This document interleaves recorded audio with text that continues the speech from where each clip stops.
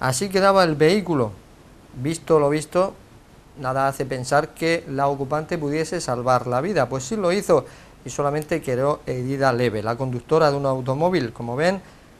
resultó herida tras ser arrollado su vehículo de esa forma por el tren que realizaba el trayecto de cercanías Alicante-Murcia a la altura de la pedanía oriolana de la media legua. El siniestro ocurrió pocos minutos después de las 3 de la tarde de ayer cuando la conductora cruzó un paso a nivel sin barreras pero regulado por un semáforo sin percatarse de la cercanía del tren que golpeó al vehículo, lo lanzó varios metros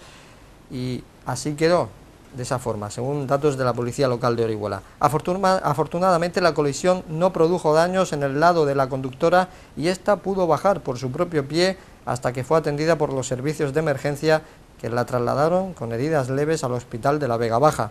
El tráfico ferroviario quedó suspendido casi una hora y la máquina del convoy, que resultó dañada, tuvo que volver hasta la estación de Callosa, donde los pasajeros fueron trasladados a otro tren en el que continuaron su viaje hasta Orihuela y Murcia.